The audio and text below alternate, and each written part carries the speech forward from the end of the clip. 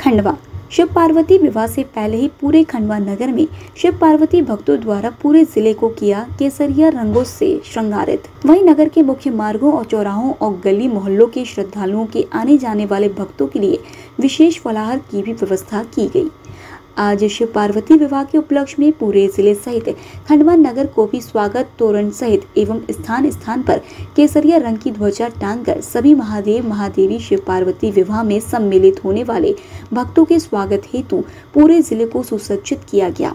तो वहीं ज़िले के सभी शिवालयों को भी शिव पार्वती भक्तों द्वारा जलाभिषेक करते हुए अपने परिवार के लिए शुभ मंगलमय का आशीर्वाद लिया। इस अवसर पर खंडवा के रुस्तमपुर शिव मंदिर और ओमकारेश्वर मंदिर में पूजन अर्चन करने वालों का तांता लगा रहा। तो वहीं जिला प्रशासन और पुलिस प्रशासन के अलावा नगरीय प्रशासन भी काफ़ी मुस्तैदी से व्यवस्थाओं को संभालते हुए दिखाई दिया।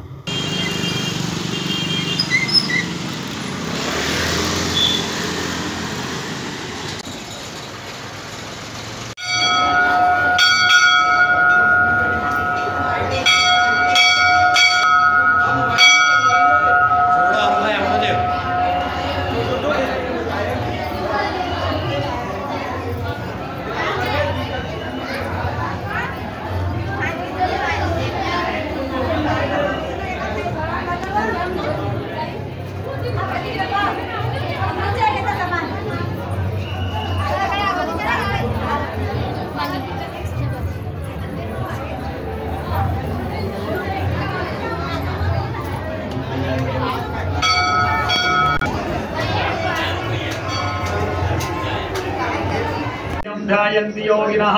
कामदं मोक्षदं चैव। नमो नमः। कावेरिका नर्मदयो पवित्रे समागमे सज्जनतारणाय। सदैव माँ धातृपरे वसन्तम्। ओंकार ईशम शिव शिवमेकमीडे।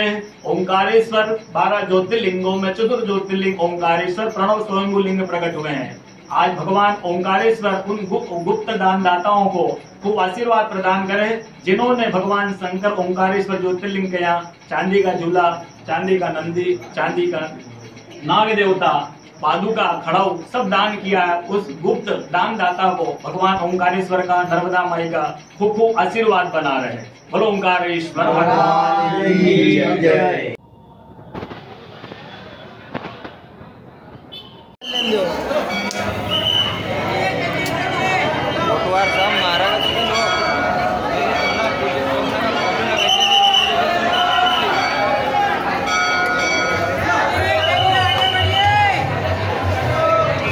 खंडवा से खबर समय जगत के लिए टीम के साथ जिला ब्यूरो चीफ दीपक चावरे की report.